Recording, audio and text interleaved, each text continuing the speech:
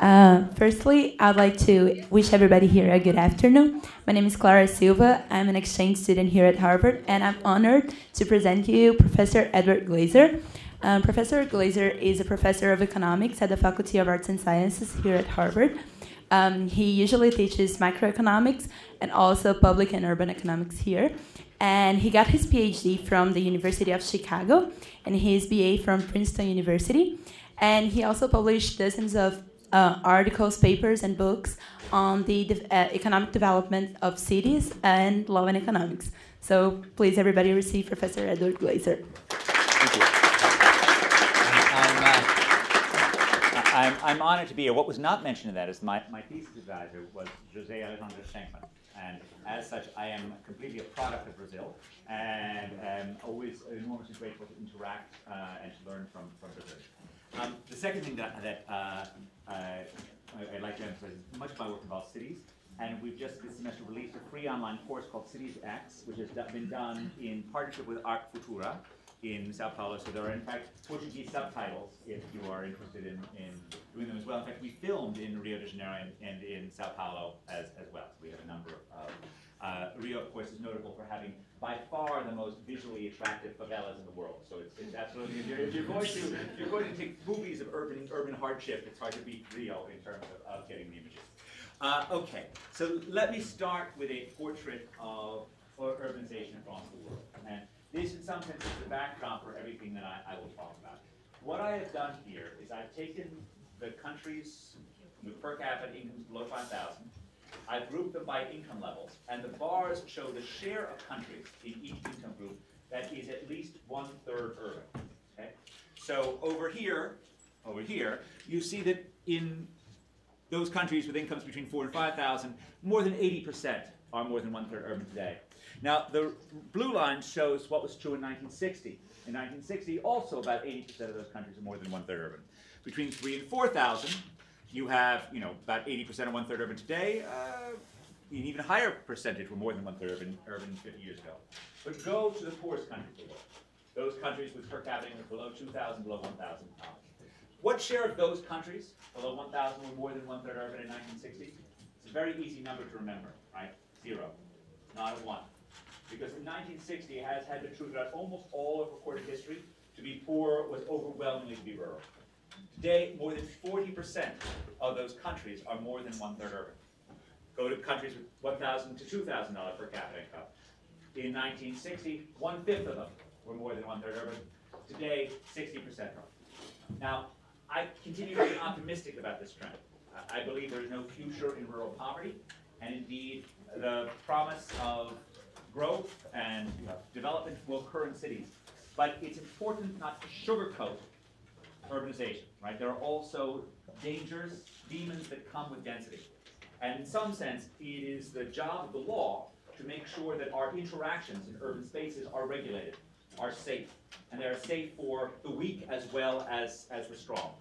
And dealing with these downsides of density, particularly in poor and sometimes in poorly governed countries, is in some cases the greatest, you know, one of the greatest challenges of the 21st century. It's also a challenge where Brazil has the capacity to offer insight and information for the, the poorer parts of the world that are urbanizing today. So Brazil became 50% urban in 1964, uh, in, uh, at a time in which it was you know, significantly poorer than it is today, and significantly poorer than the U.S. was. So Brazilian per capita incomes in modern dollars were you know $2,100, $2,200 back in 1964. Um, the U.S. didn't become 50% urban until 1920, when our per capita incomes were over $7,000. That partially reflected the urbanization of Brazil in 1960, in the 1960s, partially reflected the fact that you were importing a very large amount of food from Argentina during that time period. And it made it possible to urbanize before you had enough agricultural strength to, to create your own cities. And that, that story is a story that replays itself throughout the developing world today. That you can have, you know, Port-au-Prince grow in Haiti, not because Haiti can feed the residents of Port-au-Prince, but they can be fed with, with rice that comes out of New Orleans. The globalization of the world has made that urbanization possible. And that's, that's absolutely true, but consequently, Brazil, which is now, of course, a more urbanized country than the US, has been dealing with the challenges of urbanization, despite limited resources in many cases, for 50 years. And has done so with mixed results, but with many successes. And those successes are things that Africa needs to learn from today. And in fact, there's much more to be learned if you're thinking about Africa dealing with the problem of urbanization from Brazil than there is from London, because it's 130 years since London dealt with these, with these issues as opposed to 30 years. Okay, um, now I argue, and I, I, frequently have to make this, this case, that in fact I see the urbanization of the poor parts of the world as being fundamentally benign despite the challenges. One of the reasons for this is the incredibly strong correlation between urbanization and economic development. So over here, I'm showing the relationship between urbanization in 1960 and per capita growth between 1960 and 2010. I'm not trying to suggest that this link is entirely causal, right? Um, but I know of no pathway from poverty to prosperity that does not run through city streets. Right? And you can see that here. And across countries, if you compare those countries that are more than 50% urban to those countries that are less than 50% urban, the more urbanized countries have on average incomes that are five times as high and infant mortality levels that are less than a third. Okay? So I, I cannot tell you how often I end up in policymakers' offices where they say to me, great, you're an expert in cities. Tell me how I stop all these poor people from coming to my city and screwing it up, right? That's, that's you know, a, a ubiquitous conversation. And I just try over and over again to say, look, that's not the right answer. Right? I know it creates challenges. The job of the government is to figure out how to make the poor people coming less, less difficult, less challenging, not to try and shut them out. This is, um, uh, these are relationships between income and density within countries. And what I wanted to show here is that this is the US relationship between urban size and, and density. This is the Brazilian relationship. The things that we know from the US in terms of the relationship between urbanization and productivity appear to hold to exactly the same extent in Brazil, India, and China as well. The same power of cities to create productivity appears to go hold there. Now, um, perhaps the arch expositor of the anti-urban perspective was Mahatma Gandhi, who was right on many things. But you know, he famously remarked, "I regard the growth of cities as an evil thing, unkind for, uh, unfortunate for mankind in the world." Now, I think uh, on this one, he's almost assuredly wrong. Okay. Um, and it's not just about income. Of course, as you've noticed, Gandhi didn't care particularly about incomes. He thought that you know hand spinning of, of you know fabric was a great was a great way to, to promote uh, something. Uh, uh, but it's also about quality of life. So what I'm showing you here is the difference. Each one of these dots represents a country, and it represents the difference between urban and rural happiness. So it's a survey, and we're asking people, how satisfied are you? Sorry, I, I think the clip on is, is turned off. Okay, okay, sure. How about now? Better? Yeah. Okay. Okay, great. Sorry for the technical difficulties. Okay, um, so uh, each one of these dots reflects the difference between urban happiness and rural happiness. The zero line means that the urbanites and the rural dwellers say that they're equally happy. If you're negative, the people who live in cities say that they're less happy. If it's positive, the people who live in rural areas are more happy. In wealthy countries, it's kind of a wash. Okay, basically a cluster around the zero line. In Sweden, the people who live in cities say that they're a bit happier. I can't imagine how miserable rural Sweden is in uh, January or February. Uh, but you know, New Zealand and Italy, the rural dwellers say that they're happier. You know, I mean, rural New Zealand, it's Lord of the Rings and all that. It's, it's, it's very nice. Um, but if you go to the poorest countries of the world, right, overwhelmingly the happiness data favors cities. And of course, it is ironic that of all the countries in the world, the one that has the largest happiness gap that favors cities is, of course, Gandhi's own home country of India, okay, where the urbanites say that they are much happier than the rural dwellers. Um, and it's also true Mali, Ghana, Moldova, Rwanda, South Africa, Guatemala. Now, there are a couple of exceptions. So, Iraq and Thailand are the most extreme examples. Now, this data comes from the 2005 to 2007 period where Iraq's cities were experiencing certain adverse exogenous shocks, as we economists like to call bombs. Uh, the, um, the, the case of Thailand, I blame on the traffic in Bangkok. Uh, but uh, certainly by and large, and part of the problem is, you know, you look at a Mumbai slum or you look at a Rio favela, and you think, boy, this is a miserable existence. But you're benchmarking it against, the natural thing, of course, is to benchmark it against our own existence, right? Which is a silly thing for us to do. We have to benchmark it against the rural northeast of Brazil, where they, where, which was their alternative, right? And on almost every measure, life in a favela, no matter how tough it is, looks like a life of more hope than life in the rural northeast of Brazil, right? And we have a fair amount of data showing that, which suggests that, you know, the, the right answer is not to ship them back to the rural northeast of Brazil or to ship them back from Mumbai to rural India, but to figure out how to make the favelas, to make them, uh, Mumbai uh, more livable. Now, this highlights the way I think about cities is as a triad, as having three layers. Okay? One of these layers is the economic magic of human interactions. And I'm, I'm going to talk less about this than I usually would in a talk to economists or, or business people. But it, it is the ability of cities to create collaboration that is their greatest asset, right? And in some sense, it's remarkable that a world in which distance is dead, that urban interactions have remained so vital. But I think the right way to think about this is what globalization and new technologies have done is that they have radically increased the returns to being smart They've radically increased the returns to innovation. And we are a social species that gets smart by being around other smart people. It's what we do that actually uh, is most valuable. And the more complicated the world is, right, the more complex an idea is, the easier it is to get lost in translation, the more important face to face contact is right? I mean, anyone who's ever taught knows the hard part about teaching is not knowing your subject material. It's knowing whether or not anything you're saying is getting through to your students, right? And we have evolved over millions of years to have these cues for communicating comprehension or confusion that are lost when we're not in the same room with one another, right? A more information-intensive world is naturally a more urban world. Um, second, this is what I was talking about before, government battling the demons of density, okay? So this is um, crime, contagious disease, traffic congestion, right? How high housing costs, all of these things which go wrong when too many people move over a small area. One way to think about this is that an abundance of land hides many sins. That the failures of government become invisible when people are spread out along uh, enough distance. But when you cram them together, an underperforming public sector becomes painfully obvious to all. Um, third, the physical city. And I think it's really important that we never confuse the physical city for the real city, because the real city is the humanity, it's not the skyline right? And the skyline only matters insofar as it empowers and encourages the people who live in that area. But the skyline still matters. The infrastructure still matters. And um, you know, one of the things that I've fought hard against over the past 15 years is the tendency of many cities to overregulate their construction. And this is something that I worry about in the Brazilian context as well. It's not as extreme as Mumbai, which for 50 years has had 1.25 floor area ratios, which means the average height has to be 1.25, right? Which just ensures that the city sprawls out rather than up and becomes dysfunctional but I worry about it in the Brazilian context as well. Certainly, the Doing Business report on construction in Brazil did not suggest that, that you know, there's an easy regulatory environment that allows the things to get built to, to be built. Now, um, the backdrop for urbanization is, of course, always technological change. And new technologies have been shaping cities for you know, uh, a millennium or many millennium. The most important technology that has uh, shaped cities, I think, is this one because there is no more important job for city government than providing clean water, and aqueducts were actually crucial for doing this. Um, in the 19th century, we lived in an era in which technologies tended to be profoundly centripetal.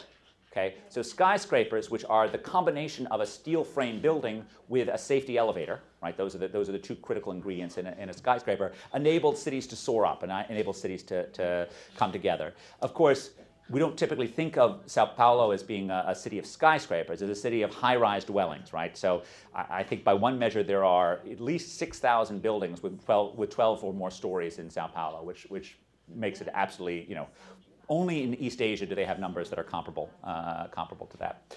Um, in the course of the 20th century, technologies were profoundly centrifugal, meaning they pulled people away from cities. Cars, above all, and of course, America's early adoption of the automobile led to the great sprawl of America's uh, cities, but also radios and televisions, which meant that you didn't have to go downtown to get good entertainment. All of these moved away from cities. I think a lot, a lot of our current technologies are pulling people back in today. And one variant of this is what's called the sharing economy. Now, cities have always been about sharing. What is an urban uh, restaurant other than a shared dining room, a shared kitchen? Uh, what is an urban park other than a shared backyard? The difference is technology enables us to share more things. So Zipcar, for example. So I grew up in New York in the 1970s in a grittier time. And you know, you can imagine sort of getting your Zipcar in New York in the 1970s. So you go to Times Square and you go to pick it up, and there'd be like a dead body in the trunk okay? And it would be really unpleasant because you had to deal with a dead body in the trunk. Today, the technology means it's not going to be there, and so you can share it. And even, I think even more extreme is the idea of Uber in the New York in the 1970s. The idea that there'll be like some driver who would come and you'd like get in the back of his car and he'd take you somewhere. I mean, it's a terrifying notion, right? Um, now with the technologies, we do that all the time, and, and we think it's entirely safe. And in some sense, these technological changes have been centripetal. They, they've pulled us further in. You can see the centri- centripetal nature of, of Yelp coverage uh, in uh, this is a map of U.S. Yelp coverage across the country. And you can see the areas that are dense. Lots of people are sharing knowledge about restaurants. In areas that are not dense, you don't have Yelp coverage. This also means that we can use Yelp to get a picture of what's happening in cities. Okay? And some of my more recent research has been about trying to use big data to actually measure what's happening in urban spaces. This is particularly valuable in areas where you think the government statistics are weak, which actually means that big data is particularly valuable in the developing world.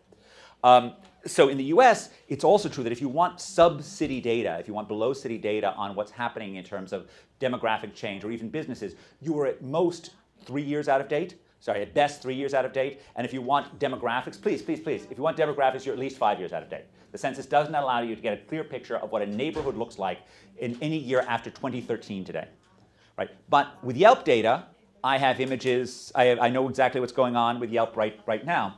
So we did a bunch of different things with, with various Yelp things. So the first thing we asked was we followed the CEO of Zillow who asked whether or not, uh, whether or not Starbucks predicts housing prices.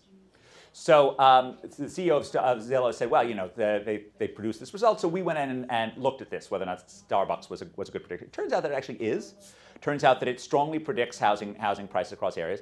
And even though Yelp predicts Star, Starbucks predicts uh, housing prices, and that's what you're seeing here, um, it's not true that housing prices predict Yelp. Now, I don't think this is because people are willing to pay for proximity to Starbucks so much, but it's that Starbucks happens to be very adept at forecasting which areas will gentrify. Okay? So in some sense, this Starbucks density is one thing that you can use to ask yourself, is an area uh, gentrifying? It turns out you can do this with lots of different things. Uh, so uh, these are various variables. This is just in New York City uh, in terms of Yelp reviews that change the number of groceries, change the number of cafes, bars, restaurants, barbers, wine bars, all of which predicts these are various demographics that you might be interested if you wanted a picture of the gentrification of a city. Okay, you want to know whether or not which areas are gentrifying. This is change in the share that are college educated, change in the share of 25 to 34, change in percent white. And as you can see, a lot of them have a fair amount of predictive power in terms of explaining which, which areas are gentrifying.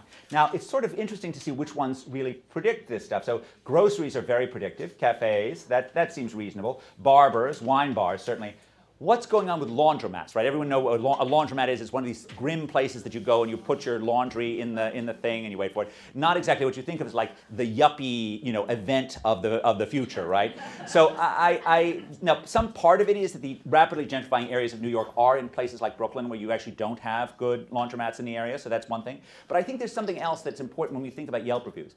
It's not a particularly yuppie thing to go to a laundromat, but then to go online afterwards and to write a review about that laundromat, that's got to be somebody special who thinks writing reviews of laundromats is a really good thing. And uh, no one with a great deal of common sense, I think, would necessarily be applied to say, oh, the machines were very nice. Oh, they did. Um, uh, now, one of the things that we've done, which I think is even more interesting and, and potentially even more usable in, in the developing world, is using uh, actually quantifying the physical landscape change. And, and, this, this starts with the work of Salesses Schechtner and Hidalgo, which has nothing to do with me. Um, and what they do is they take images from Google Street View and they ask people online which one looks safer. Okay? And they have 4,000 images from the most representative and important cities in the world New York, Boston, Linz, and Salzburg. Uh, I have no idea what led them to Linz and Salzburg, which, you know, unless you are a Mozart fanatic, you would not come up with these things being there. But this is what they did. They got 8,000 unique participants from 91 countries, and they rated more than 200,000 pairwise comparisons. Now, so with this, they get these rankings. Now, you should think of this as actually asking which places look nicer, not which places are safer, because in fact, the areas where people say they look safer are not actually safer, and you know you can figure out why, right? So look at this area. Who's going to go there? Okay? There's no crime there. Who's going to go on a Friday night and say, boy, this is where I want to hang out? This, I'm going to wait until somebody comes and murders me. No, nobody goes there, so there's no crime. There was this. It looks kind of nice, but you actually do have some people who go there and some people who get robbed when they go there. So it doesn't correlate very well with, with safety, but it is a measure of how attractive the neighborhood looks. Now, the next step is the computer scientist Nikhil Naik, who um, is my co-author on this, who, uh, with, along with uh, Cesar Hidalgo, uh, is looking at um, taking the, the blocks that were based on people's reviews online, based on these people online ranking them. And then you take this data, take these ranked street blocks, and you use computer vision techniques to reproduce individual judgments using a computer algorithm. Okay, so it starts with these 4,000 images that you know people have rated, which in the case of New York gives you 1,700 city blocks, and then you train the computer to duplicate that, and then all of a sudden you have ratings on a million blocks. And it turns out the computer can do a pretty good job of, of imitating what people do. It involves a whole lot of fancy computer science that, quite honestly, I don't understand at all. Okay, uh, but the, there are these tools for reducing the dimensionality, and then you get a street score for everywhere, and you can do this pretty much any place you want to. Um, what areas correlate with perceived safety with looking nice? Well, density. Right, density correlates very strongly with this. Education correlates very strongly with it. Um, income, somewhat less strongly. Share of, of family households correlates strongly with it. Um, and you can also use this for charting neighborhood change. So this is the change in street score between 2007 and 2014. So we've had studies where we've actually looked at the demographic change in neighborhoods before, but never once in which we could actually physically measure the changing nature of the streetscape, of what it looked like. Right? Um, and what, you, what we learned from this is the places that had the most upgrading, and this is done across six cities in the US, uh, the places that had the most upgrading were places that were initially well educated, that were initially denser. Actually, the places that started looking nicer had the most upgrading in, in being nice places that were close to the city center. So think Tribeca in New York, if, if you know that, places that were sort of unattractive historically, but got richer because of proximity to the city center. They, those places did better. Places that were near other areas that were rich or nice or attractive, in some sense, quality invaded. Right? There's an old uh, Chicago School of Sociology view about how sort of poverty invades across neighborhoods. Well, as cities were getting richer over the last 20 years, it was gentrification that invaded, right? And invaded slowly oozing across across space. Um, so this is, uh, wait, what happened here? Uh, okay, so this is what we're doing in terms of measuring, uh, measuring this, this stuff. And we can do more things in terms of measuring, uh, trying to evaluate house, housing prices. We can deal with property tax assessments by measuring, by using this. You can use these images to map out wealth and poverty because the places where poor people live uh, look different than the places that rich people live. I will say the one really interesting thing, we tried to do this in uh, Chile, where we had income data and we tried to ask, can we, can we map, figure out income and poverty? You really can do this very well within New York and Boston. You can actually really figure out which areas are rich and poor by the images. In Chile, it worked much less poorly. And I think the answer was you could spot the very rich and you could spot the very poor, but there was a broad middle income in the Chilean income dist- distribution where everyone looked like they were living in exactly the same places. And maybe its ostentation is a luxury good. That in fact, if you're actually trying not to look rich, if you're trying to drive a cheap car so no one will target you, if you're trying not to have a house that's fancy, it then becomes harder to actually pick off uh, wealth and poverty from the streets. Uh, okay, uh, now um, let me move now to the, the next point, which I think is the, the you know, what I'm going to talk, be talking about going forward, is the demons that come with density, so the downsides. And this is really where law comes in, is dealing with these, these downsides. Now, as I suggested, the, the, most important thing that city governments do is around clean water. Okay, and um, that's because of you know, this this graph. So what this graph shows is shows death rates in New York City over the past 200 years. A boy born in New York City in 1900 could expect to live six years less than the national average for the for the U.S. Okay, it's about the same life expectancy gap between Shakespeare's London and the rest of England in, in Tudor England. Okay, um, cities have historically been killing fields. People have usually died there, and it's usually because of contagious disease. Um, and you can see that here, right? You see the spikes from cholera going forth in, in various things. Now, um, the, the story that I was told, the story that I was reared on for understanding this, was one of engineering triumphalism. That in fact, the critical thing was investing in large amounts of water based infrastructure and that's on one level absolutely true. America's cities and towns were spending on, uh, on much as water at the start of the 20th century, as the federal government was spending on everything except for the post office and the army. But on another level, that's false, and that's where the law comes in. Okay, um, the, the great piece of infrastructure here is the Croton Aqueduct, which you see was, was built in 1842. Right? Look at this graph. Does anyone see a break in 1842? Anyone see something where, where suddenly the uh, death rates plummet? No, New York is having cholera epidemics for another quarter century. My great, great, great, great, great grandfather died in this one, in the 1849 cholera epidemic in New York City. Um, and the reason why uh, was that New York suffered from the same thing that many developing world cities do today from the last mile problem. In fact, you built this water infrastructure and you still expected people to pay for the connections, and they didn't pay. Right? I do work in Lusaka. Uh, this, this, is water infrastructure in Lusaka, where they have nice international agencies that build water mains, and then they say if you want to connect to this water main, it's a thousand bucks. Okay? And per capita income in Zambia is less than $2,000, so a $1,000 connection seems expensive. Um, in New York City in the 1900s, they had free water hydrants, which you could go to, but there were only about a thousand of them in Manhattan, so you'd have to carry the water, and water's heavy to carry. And so poor people didn't connect, and they didn't start getting healthy until they actually uh, actually invested in. Uh, they started forcing people to change. Now, um, let me go back to the uh, the thing. So this is really the key change: is the Board of Health comes in, and they start imposing fines on tenement owners who don't connect. Okay, they start saying it's against the rules not to connect, and we're going to punish you if you don't connect. Now, New York, remember, was overwhelmingly a city of renters, so that made things easier. In 1890, 95% of the residents of New York were renters. So you can impose this rule on the tenement owners, on the landlords, and it made it somewhat easier politically. Um, you sent in guys, like I'm just showing you a picture. This is, this is the guy, okay? This is the kind of inspector. And you, when you think about this type of intervention, you worry about two types of dangers, right? You, you worry about the possibility of, you know, uh, extortion of the, of the innocent and corruption of the guilty. Both of these are real. Um, the way, one of the ways they bypassed this was that these inspectors were not part of the municipal police. So they wouldn't be part of like the, in, in, a Brazilian country, they wouldn't be part of either the military or the civilian police. They were separate and responsible to doctors, okay, which made things slightly better. The other thing that's really important in the New York context, which makes it hard to use this in the case of, you know, Mumbai, is that one of the things that you had critically is 800 years of land based jurisprudence in the common law countries that meant you knew who owned the land. Okay? And the fact that you knew who owned the land made it possible to impose rules on that land. Right? And this is a simple lesson, right? Defining property rights can be a big part of making cities livable, right? Uh, this is the equivalent of the German Constitution, Article 14, German Basic Law. Property entails obligations. You should also serve the public interest, right? So, own, knowing who owns the property is sort of a critical part of actually imposing requirements on them, like you connect to the water. Um, I will just say one more thing about. Uh, I'm going to spare you this this thing. In in Zambia, um, one of the big problems is not just the the failure to connect. It's when you do connect, the water lines break all the time. So you don't have water at, during, during dark hours, period. You only have them during daytime hours, but you have a huge fraction of the days in which it breaks.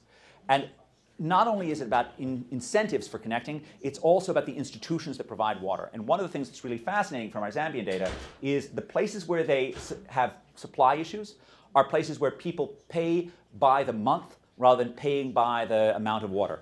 So when the water company gets paid based on the amount of water that flows, it fixes the water pipes. When it gets paid by the month, it doesn't okay? It's exactly what Economics 101 would predict would happen. And thinking through the incentives related to the institutions around cities are really, really important.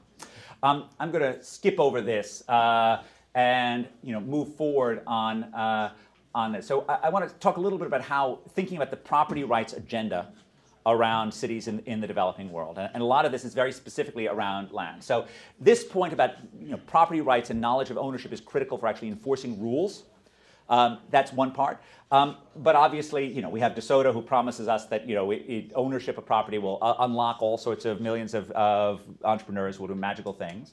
Uh, we have Erica Fields' superb essay, which shows that when you gave people property rights over their land in Peru, they wasted less time staying at home protecting their, their, their land. Um, and uh, I think my, my friends in Africa worry mostly about property rights enabling there to be reallocation of land. So you have slums that are very close to the city center that are seen as being incredibly inefficient. Maybe there's a deal where all of their, their lives can be made better off, but they're moved to someplace, be, someplace better. Now, with a little bit of a, of a Latin American perspective, it's easy to remember how that can go wrong, right? The city of God was exactly that vision right? It's exactly a vision that we're going to move people away from the city center. We're going to reallocate goods, you know, reallocate land in a way that's efficient, and we're going to get it monstrously wrong. So uh, I think it is, you know, once again, the sort of Latin American experience is very helpful for thinking about the cities of, of sub-Saharan Africa. Um, and I think more importantly, any land and property reform has to respect institutional reality. So this is just the point that you know when you have weak property rights, you have less investment in less returns to investment than you have when you have strong property rights. This is something that everyone worries about in terms of land ownership in the developing world. That when you don't have you don't own your slum, you don't invest in it. Um, I think one of the things that's very important, and it's, it's, I, I, I want to just emphasize that you know, having a bunch of lawyers think about this is really crucial. As you all know, right, when we talk about property rights, it's a bundle of rights. It's not one particular right, it's a bundle of rights. And yet, when you talk to the, the property rights aficionados, what they are interested in is cadastres. What they're interested in is something that makes sure that the fact that you own this property is well known. That has nothing to do with the right of alienation, right? It has nothing to do with man- managing how you would deal with this land in a contract setting. It just is that you own this land in, on your own. And um, this, so for example, let me give you an example of where that goes, that could go awry. So you might think that we were efficient moving from a world in which you currently owned and, and lived that land to a world in which you rented out large amounts of it, right? Renting is a contract that arises a totally different set of, of you know, property rights than just the ability to sit on your land and be sure that no one's going to steal it from you. And yet India may work towards you know, a, a clear property rights definition around owning the land, but their rental rules are a disaster, right? You can never raise the rents, you can never evict anyone, and so you know none of these rental markets that help make the cities of the Western world work can thrive in India, a, a world overwhelmingly of renters. A lot of the cases, I think of these property rights as being around the adoption of multiple technologies. Very often in the developing world, you see side by side uh, you know, two technologies, a rich technology and a poor technology. This is an example from Johannesburg, where you have these jitneys, right, which are you know, small, cheap, run by you know, residents, right, um, dangerous, and they typically wait to get filled up before they take off. They don't run on a fixed schedule, right? Um, versus the Gautrain, right, which is slick, fancy, you know, expensive, built, you know, by and for white people, right? I mean, the, the two technologies coincide. One of the biggest questions for us to think about in terms of developing world cities is when is the right answer to improve the Gautrain? Oh, sorry, is to improve the, these jitneys. When is the right answer to move them to the Gautrain?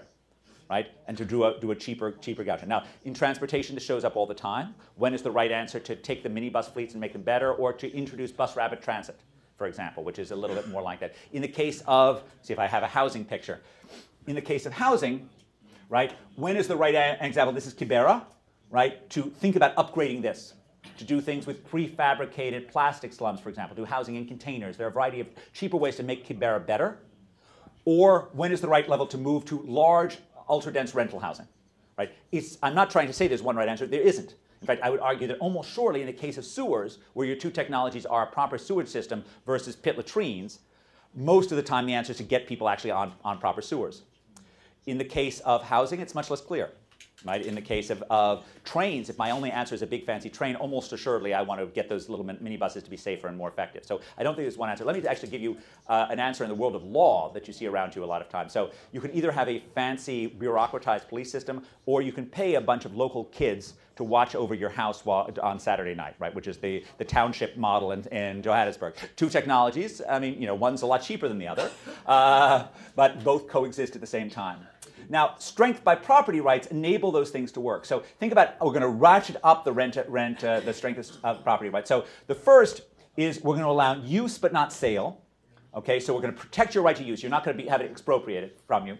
Um, that's going to lead to better investment by owners for the owners, but it's not going to lead to reallocation, and it's not going to lead to large-scale rental markets. Then let's say we're going to allow you to sell. We're going to make it easy for you to sell. We're going to have a strong enough property market so that you're not going to have to worry about, about being expropriated in sale. That's going to allow better residential matching, but it's not going to allow large investment in rental units. And then finally, if you have property rights that allow rent and land assembly, then you can have the large structures. Then you can have this versus that. Okay? So you have a hierarchy of property rights that enable different forms of transformations. And it's sort of critical to think about what you do in the world of law as being intimately related to the physical side, which is impossible without the law to support it. Right? And, and that's really critical. And, and I just want to sort of emphasize the sale problem. Let me see if I have a, um, a sale thing. No, the sale, the sale thing. So let's say, let's say your, or the mortgage problem. Um, so let's say you have you have a clear right to own the house, but let's say we have we can easily imagine a property rights regime where as soon as I start to interact with you and you are a big strong local guy, right? Then all of a sudden we find that you've agreed to sell me your house. I've agreed to sell you my house for pennies on the, on the dollar, and there's nothing I can do about it. We've signed some sort of a contract there that I can't do anything about. Or even more so, you're, you're, you're a DeSoto aficionado, you're a relatively poor guy living in the outskirts of uh, Sao Paulo, you've taken out a mortgage on your area. Nine months in, the bank has declared you three months short on your mortgage, and they're going to take your, take your land right? The best cadastre in the world, you know, and you have paid your mortgage, or maybe you haven't, you've missed one month or something like that. The best cadastre in the world doesn't save that, right? Because you know you didn't know how to keep records, you weren't sure on how to keep records. The bank is powerful, you're weak, you get expropriated, right? So you know it's important as we think about these bundle of bundle of property rights to recognize that sort of the simple things that the World Bank is focused on, you know, the cadastres, the who owns what, don't necessarily fix a lot of the uses that we have for land, and that's that's I think really essential. Uh, I'm going to skip over this. Uh, okay. Um, yeah. I, I, so I'm going to skip over this. Um, one of the one of the, the the the critical things as we think about law and economics, law and property rights in the developing world, is to remember that that these you know in the U.S. The world of law and economics was defined in a world in which we thought that all judges were completely trustworthy. In fact, there's an odd asymmetry in uh, American political discourse, which is people who say that they're libertarians are terrified of anything coming out of the executive or legislative branch, but they think anything coming out of the courts is good. Right? It's a very odd thing, and it comes from a very strong faith in the judicial system in, in the US. Um, it's, I think, ridiculous if you think about law and economics in the developing world to think that we can assume that you know, it's the law that determines every judicial outcome. So this is surveys from the World Justice Project, which I love, which just asks, these are experts' assessment of the share of cases in which they've interacted with, which the poor have been treated unfairly. So, you know, in rich parts of the world, in Norway, it's basically zero, Finland, it's zero. And then the poorer you go, uh, the higher share of, of cases in which people think the, that the decisions are being made against, against poor. The poor, this is another way of taking this, right? The popular perception of undue influence over judges. So um, Brazil ranks actually pretty highly on this. About 60% of the, of the cases these judges think have been done with undue influence.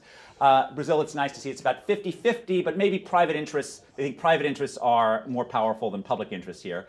Uh, Mexico, again, private interests slightly more powerful. Look at China. China, you know, 80%, 80% of the, the, the cases the experts think were, were not decided according to the law, but were due to influence. But there's overwhelmingly the public sector. They're not afraid of the private sector whatsoever. And it's really important as we think about legal regimes to think about subversion of justice. We, we don't occupy a world in which we can necessarily count on all the courts to function perfectly, and we need to have rules that are relatively subversion free, that are relatively less likely to, to um, uh, suffer from subversion. So let me make this case in the context of property ownership and use, and this is a, from a paper that's joint with Andrei Shleifer and Giacomo Ponzetto. Um, and I want to talk about an ancient legal question, which is the use of liability rules versus property rules and injunction. Okay, um, so we've got uh, a, a mine. You, you, own some land. You're some relatively you know poor farmer somewhere in Peru. You've got a mine that's polluting your land, right? And we can think about two legal remedies for you. One of which is you can go to the court and demand a li liability judgment against the, the polluter, in which the court will assess some, some amount of damages that they think that the, that the polluter has done. The polluter will have to then pay it to you. The other, which is you can go and what we call a property rule, which is also you know could be described as an injunction, injunctive relief. You're going to go and you're going to demand that the court's going to stop you from stop them from doing them. Okay, and if the, the polluter doesn't do it, they suffer potentially criminal penalties. Right? There are many different examples of this. So, for example, if if I, you steal wood from my property, okay, you're not, you're not particularly subject to liability rules. You've actually committed a criminal act that's independent of, and your punishment is independent of the value of the, of the wood that you've, you've done. Now, I want you to think about these two different rules in an era of subversion. So if you have liability, the great thing is it, it allows exchange even if two people aren't there to exchange. So if I'm not there, you're gonna you have to run across my area and damage it a little bit to get to your sick child. You're gonna make the right outcome, make right decision because the liability rule is gonna create a price. Right? So that's the really good thing about liability rules. And that's why the law and economics literature has been loved liability rules for the past 40 years. But the bad thing about liability rules is that liability rules are much more subject to subversion. Okay? So the mine comes in, it does $50,000 worth of damage to my, to my mine and I go before a court and say, look, this mine did $50,000 of damage. Now, I'm just some poor landowner in rural Brazil, and they have some fancy lawyers who know the judge, and they say, no, no, no, they did $500 worth of damage. And the judge says yes, because after all, as we've just seen, 80% of cases are decided against, against the poor. So the liability rule ends up screwing the poor guy. Now, the poor guy may still be screwed if they have a property rule, if they have injunctive relief, but the rule is less factually intense, right? It's much easier to say, look, he's on my property, get him off, than it is to say how he did $50,000 worth of damage to me. The more factually intense the, the remedy, the more liable it is to subversion. And that's sort of a central point. And these strong, simple property rules are there to protect the weak. Right? They're there because the more complicated the rule is, the more likely it is to be subverted. And uh, the point is that as we think, you know, this is, this is a, a table that comes from it, the, the, the more likelihood that you get bargaining right, the more likelihood that you want property rules. So the sort of logic of Ronald Coase tells us that you know if you as long as you have clear property rules and as long as it's easy to bargain, you're fine. Okay. The case for liability rules is when it's hard to bargain. But here, liability rules fall down, fall down when the potential taker, when the potential polluter is able to uh, subvert justice. Um, there are a bunch of related points. So in the world of eminent domain, which is a big urban topic, liability is equivalent to the courts establishing a fair market price. The equivalent for property is that any taking must be approved by perhaps a supermajority of the, of the residents. So this is, for example, the Indian structure where you have two-thirds of the population that need to sign off before you have a, have a taking. The more you're afraid of public subversion, the more you like the supermajority rules relative to the other rules. Um, contracts, the usual the debate is between specific performance and damages. Okay, so specific performance, which is something usually the common law courts don't do, says that you actually, if you agree to do something for me, I'm going to make you, the court's going to make you do it. Li- liability damages says that you have to pay me for failing to perform. Usually, courts don't like to enforce uh, specific performance, but in fact, one of the most famous examples in Western law of subversion of justice and, and the downside of damages is the famous Peevyhouse case, which was a contracts case where you know pollution occurred and the damages were were pushed down to, to a negligible amount. Um, if you have um, damages which are subject to this subversion, it's going to push us to contracts only between people who are equal in their legal power, right? It's going to create symmetric. If I bargain with another weak guy, I'm okay, but I can't do bargains with strong guys, and that's that's basically what happens when you have these things. Interestingly, I, I um, some of my work I work on on Zambian entrepreneurs and markets who engage in uh, they have the, they have these informal market chiefs who enforce contracts, and they actually do specific performance. They tell guys, look, if you don't, you promise this guy to do something. If you don't do it, I'm going to bust your head open unless you do it. So you got it. so you got to do it. So they actually revert to this. Um, uh, let me say a couple of last. Let's see what else I have in this. Uh, two last points, and then I'll, then I'll, be quiet. So when we think about urban building, um, there are really two dangers for cities to get into. One of which I've already mentioned, which is opposition to building, excess regulation, or not in my backyardism. The poster child for this is Mumbai right? Artificially restrictive rules. Much of the you know uh, Anglo-Saxon world suffers from this. There's a there's a rival danger, which is monumentalism, which is building for the sake of building. There's an argument that Brasilia is perhaps an example of, of monumentalism. Uh, certainly, there are many cities in China which are built for not particularly good reasons. Um, and you know this is Astana, which there's no justification for it whatsoever. Um, the point on NIMBYism is this: that you know there's no repealing the laws of supply and demand. So along the x-axis shows the amount of building across American cities. Along the y-axis shows the price. And here we do price res- relative to the physical cost of construction. And the point of this is the places that build a lot aren't expensive, and the places that are expensive don't build a lot. Right? If you want to promote affordability in Rio and Sao Paulo, you need to make sure that it's easy enough for for builders to build. Right? There's no there's no way to avoid that. Last point, and this is, this is sort of meant to be a little bit fun. Uh, cities are often depicted as being the enemy of the environment, right? And um, you know, we, we sort of think about um, you know, cities as being brown and, and nature as being green. And I think the opposite is true. In fact, cities are actually friends to the environment. I like to tell this story by telling the story of a young Harvard College graduate who, on a beautiful spring day in 1844, went for a walk in the woods outside of Cambridge. And he did a little fishing, and the fishing was good because they hadn't had much rain lately. But when he came to cook the fish into a fish soup, into a chowder, the wind flicked the flames to the nearby dry grass, and a fire started and it spread. And by the time it was done, it was a raging inferno that had destroyed more than 400 acres of prime woodland. In his own day, this young man was castigated as an enemy of the environment. His local newspaper called him a flibbertigibbet. How do you translate flibbertigibbet into Portuguese? Uh, flibbertigibbet, which is, which is uh, you know, pretty bad for 1844. And I have trouble thinking of anyone they were, who did as much damage to the environment as he did. Oddly, today he is revered as the secular saint of American environmentalism. His name is Henry David Thoreau, and he wrote a book that is beloved by environmentalists about what a wonderful thing it is to live surrounded by nature.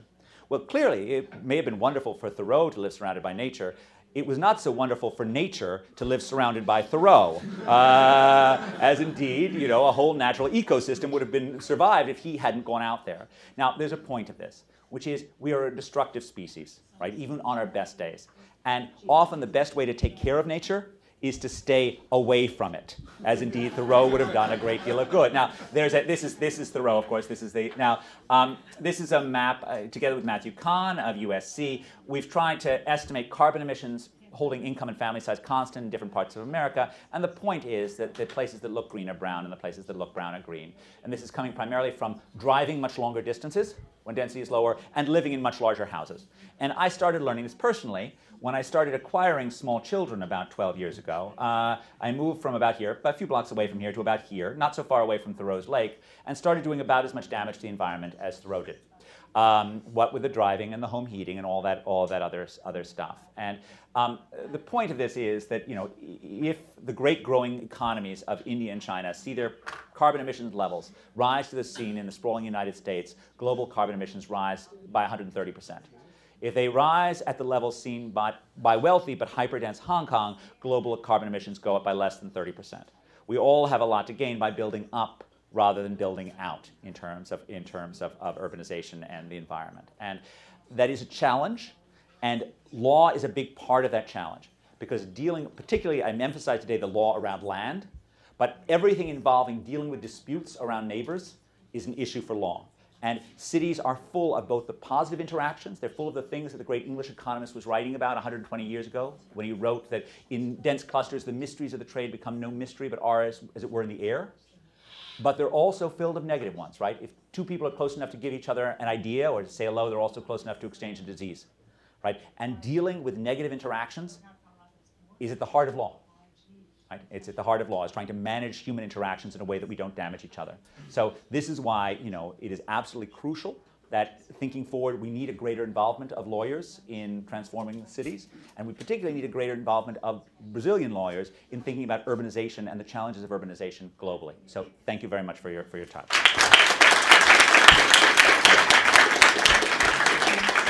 Professor, um, we have some questions here. Of um, course. I think we have time for one or two, so um, I'm going to read the the most voted one. So, should developing countries like India, for example, be allowed to pollute as much as they want in order to develop economically? Should they be allowed to? I, I, I didn't know that I was allowed to tell India how much to pollute uh, or not. Um, you know, Larry Summers got himself in a lot of trouble 30 years ago when he suggested that uh, India should be paid and allowed to do more pollution in, in there.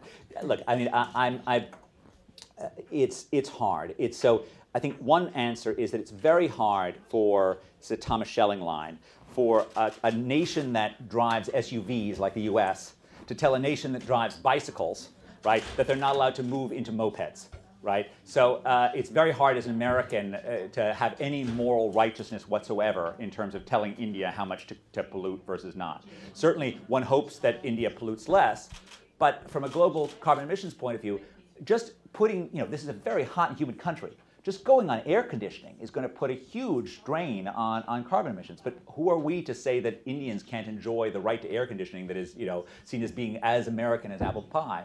So the key is figuring out some way so that they can get rich without doing as much damage to the environment as we did. And um, I, mean, I, I, don't know. Should should doesn't make doesn't doesn't. I mean, I, I, don't know how to say should one way or the other. But but I hope we can figure out ways for the poorer parts of the world to become wealthy and to live wealthy world lifestyles and do less less damage than we did.